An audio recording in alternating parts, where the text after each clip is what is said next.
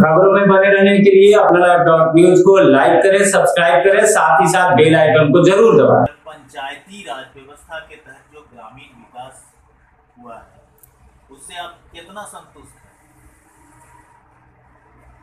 वर्तमान में सर गली नली का काम हमारे पंचायत में बहुत अच्छे ढंग से चल रहे हैं। हमारे पंचायत में पंद्रह वार्ड है पंद्रह वार्ड में गली नली का काम चल रहा है। और दूसरा नल जल का योजना जो है, हमारे पंचायत में पीएचडी के द्वारा काम लगभग एक साल से किया जा रहा है, जो कि कार्य में गति नहीं है और आधा अधूरा ही है। उसमें भी मात्र चार वार्ड में काम में हाथ लगाए और उसमें भी आधा अधूरा है। जल नल का काम से पूरा पंचायत मैंने कि आक्रोश में है, इसका काम गति नहीं दिक्कतें कहाँ आ रही हैं? दिक्कतें सर पीएचडी विभाग काम कर रहा है और आधा अधूरा काम छोड़कर भाग गया। हम काम कर ही नहीं के कारण लगभग 25-30 परसेंट वैसे भी आदमी हैं जो शौचालय बनाए अनुदान की राशि नहीं। सात निश्चय में कितना फंड आया था?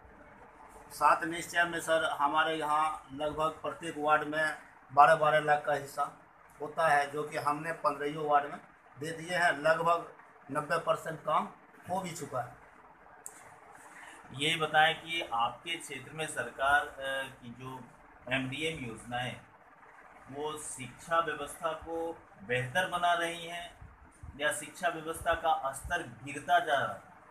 सर एम डी एम भोजन तो शिक्षा व्यवस्था को चौपट ही कर दिया है। स्कूल में हम देख रहे हैं सभी जगह कि सिर्फ़ विद्यार्थी जो है खाना खाने के लिए या पढ़ाई लिखाई तो दूर की बात है सिर्फ़ खाने में लगल रहते हैं मास्टर भी उनका खान माने कि शिक्षक लोग भी हैं जो उनका खाना व्यवस्था में और मैंने कि खाना खिलाने में ही तो उसका समय चल जाता है शिक्षा का स्तर बहुत बहुत गिरा। बहुत आंगनबाड़ी?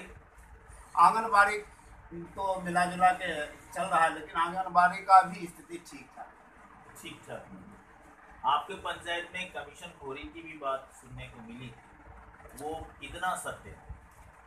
ऐसा सर तो किसी में हम हमारे तक तो बात नहीं आया है। आप खुद मैंने सभी जगह घूर कर पता कर सकते हैं। इस तरह की कोई भ्रष्टाचार से संबंधित कोई बात नहीं है। जी बहुत बहुत धन्यवाद।